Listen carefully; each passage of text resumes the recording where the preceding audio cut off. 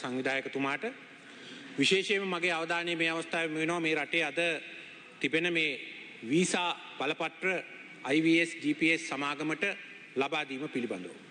පළමුවෙන්ම කියන්න ඕනේ 2012 දී යුද්ධෙන් පස්සේ මේ පිළිබඳව වැදගත් අධ්‍යයනයක් කරපු පිරිසක් එවකට ජනාධිපති මහින්ද රාජපක්ෂ මැතිතුමාට මේ යෝජනාව ගෙනාවට පස්සේ තමයි මේක රජයේ අයිති බහුතර කොටස් තියෙන මොබිටෙල් සමාගමෙන් මේ කටයුත්ත කළේ.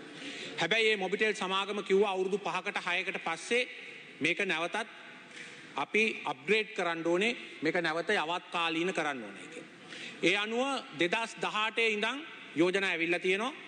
පසුව කෝවිඩ් වසංගතය ආවට පස්සේ ආරක්ෂක ප්‍රශ්නයකට අමතරව සෞඛ්‍ය ප්‍රශ්නකුත් මතුවෙච්ච නිසා මේ යවත් කාලීන කිරීමේ වැඩපිළිවෙල මොබිටෙල් ආයතනයට ලබා දුන්නා.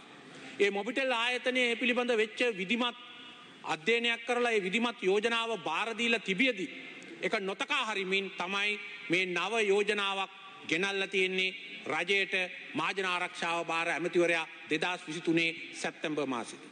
ඒ වගේම මේ යෝජනා සමීක්ෂණයට පත් කරපු නිලධාරී කණ්ඩායම විශේෂඥ කණ්ඩායම බොහොම පැහැදිලිව තමන්ගේ වාර්තාවේ මොබිටෙල් ආයතනයේ යෝජනාව මේ අදාළ රජයේ ක්‍රියාදාමයට බොහොම එකඟයි ඒකත් සුදුසු යෝජනාවක් බව පිළි අරගෙන තියෙනවා. පළමුවෙන්ම කියන්න ඕනේ මේ යෝජනාව රජයේ ප්‍රසම්පාදන ක්‍රියාවලියට ඒ වගේම IMF එකත් එක්ක ඇති කරගත් ගිවිසුමට අදාළ යහපාලන මූලධර්ම වලට සම්පූර්ණයෙන්ම පටහැනි. මේක අන්සොලිසිටඩ් ප්‍රොපෝසල් එකක් හැටියට අරගෙන තියෙන්නේ ප්‍රසම්පාදන ක්‍රියාවලියට පටහැනි.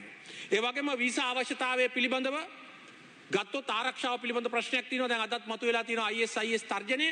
සෞඛ්‍ය පිළිබඳ ප්‍රශ්නයක් මතුවලා තියෙනවා. අපි දැක්ක කොවිඩ් කාලෙදී සංචාරක ව්‍යාපාරයේ ප්‍රවර්ධනයටයි කියලා තක්කඩි විසින් මේ රටට ගෙනාපු සංචාරකයෝ විසින් දසදහස් ගාණක් මේ රටේ මිනිස්සු මිය ගිය හැටි. ඒ වගේම දත්ත මේ සියල්ල රජය සතු වෙන්න ඕනේ. මේ අදාළ සංචාරකයන් රටට ආවට පස්සේ කොහෙද ඉන්නේ? කොතනද ඉන්නේ? මොනවද කරන්නේ? ඔවුන්ගේ දත්ත මොනවද කියන එක. එහෙනම් ප්‍රධානම කාරණේ මෙතෙක් කාලයක් අපේ රටේ ඒ ඉමිග්‍රේෂන් දෙපාර්තමේන්තුව කරගෙන ගිය වැඩසටහනක් මේ දත්ත සපයා ගැනීමේ වැඩසටහන විදේශීය සමාගමකට පවරාදීම. දැන් කියනවා මේ VFS එක කියන්නේ හැමෝගෙම කරනවා කියලා. නමුත් වෙනත් රටවල දේවල් ඒ තානාපති කාර්යාල ආරා කරනවා මිසක් VFS එක කොහෙවත් කරන්නේ නැහැ. දෙක මේ එතන ඉන්නේ VFS එක නෙවෙයි. ප්‍රධාන ගිවිසුම අත්සන් කරලා තියෙන්නේ IVS GPS කියන සමාගමත් එක්ක. ඒක නිසා මේ සභාවත් මේ රටත් බොහෝ දුරට නොමග ඇවල තියෙනවා මේ කියන කාරණය මත. ඒ වගේම මේ වීසා ගාස්තු. අද ගත්තහම මේ වීසා ගාස්තු මම අදත් බැලුවා මේ මෑතදී ආපු අයගේ වීසා ගාස්තුව ගරු මන්ත්‍රීතුමියනි ඩොලර් 75යි. සේවා ගාස්තුව අදාළ ආයතනයේ ඩොලර් 18යි සත 50යි. ඒ වගේම පහසුකම් ගාස්තුව කොන්වීන්සි කොන්වීනියන්ස් චාර්ජ් කියලා 7යි සත 27යි ඩොලර්. එකතුව ඩොලර් 100යි සත 77යි. මේ ඩොලර් 50ට තිබිච්ච වීසා එක. දැන් මේක අපි සංසන්දනය කරන්න ඕනේ ලංකාවෙන් ස්විස්ටර්ලන්තයට යනවද ලංකාවෙන් එංගලන්තයට යනත් එක්ක නෙවෙයි. අපිත් එක්ක සංචාරක ව්‍යාපාරයේ තරම් කරන මාලදිවයිනට තායිලන්තයට ඉන්දියාවට මිනිත්තු දෙකක කාලයක් එහෙම. බැලුවහම මේක සම්පූර්ණයෙන්ම සංචාරක ව්‍යාපාරය අධෛර්යමත් කරනවා විතරක් නෙවෙයි පැහැදිලි දූෂණයක් මෙතන තියෙනවා. මේ ඩොලර් 75 වීසා ගාස්තුව නම් ඒක ඉමිග්‍රේෂන් එකට ගියාවේ. නමුත් මේ ඩොලර් 18යි සත 50යි ඩොලර් 7යි සත 27යි පිළිබඳව නිශ්චිත උත්තරයක් නිලධාරීන්ට ලබා දෙන්න බැරි වුණා මුදල්කාරක සභාවේදී. ඒ විතරක් නෙවෙයි දෙවෙනි දවසේ අත්නෝමතික විදියට ඒකට පැමිණියෙත් නැහැ උත්තර නැති නිසා.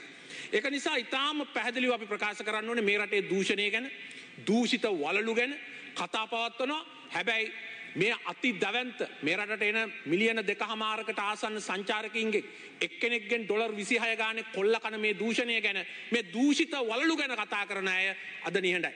ඒ වගේම ඉන්දියානුවකුට ලංකාවේ කැස්සක් ගියක් ඔන්න ඉන්දියාවේ මහමාරය එනවා කියලා උඩ පැනගෙන කෑගහන අය මේ තනි ඉන්දයානු සමාගමකට රටේ ජාතිකාරක්ෂාවට අදාළ මේ දත්තතොරතුරු භාරදීම ගැන අද නිහඬයි.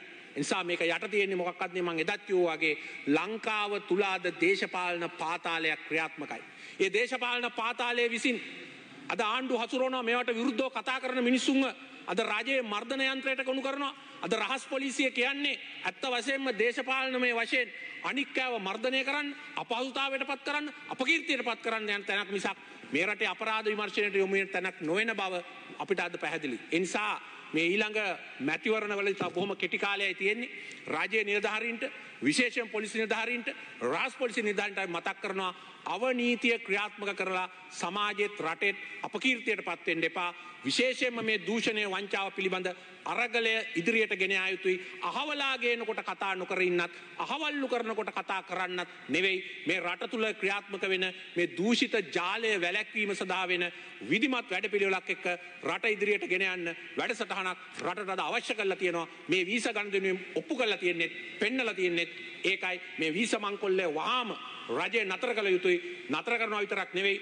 මේ සඳහා පියවර ගත්ත නිලධාරීන් දේශපාලක්ඥින් ඇතුළු ඔබතුමාගේ කාලය අවසන්. ඖෂධ ජාවාරමය සිදුවා මෙන්ම නීතිය ක්‍රියාත්ම කිරීමට ඉදිරියට ආයුතුයි කියන යෝජනාව මම ඉදිරිපත් කරනවා.